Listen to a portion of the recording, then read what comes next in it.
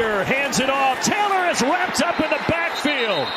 Getting the penetration was Jamin Davis. Linebackers, so you know that you're going to be hearing, and if you're not playing the position the right way, and Jack Del Rio talked about the way that Jamin Davis.